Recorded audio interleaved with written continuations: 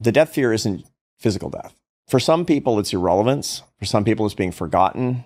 For a lot of your listeners, it's failure. Everybody has a death fear. And what is it? It's an ego threat. It's a threat to who you see as yourself. The way to get over that, and by the way, you have to get over that. We all have to get over that, or we won't be fully alive until we actually face the death that really matters to us. This is an insight that actually comes from the Theravada Buddhists. The Theravada Buddhist monasteries, often you'll go in and you'll see photos of cadavers in different states of decomposition. Usually there will be nine, nine states of decomposition, photos, bodies decomposing, falling apart, bones, bloated corpses. And they stand in front of each one and they say, That is me. And then they move to the next one after contemplating and saying, and that is me. And what are they doing? They're familiarizing themselves with the truth of their future such that they can be liberated from any fear of physical death. Only then can they be fully alive.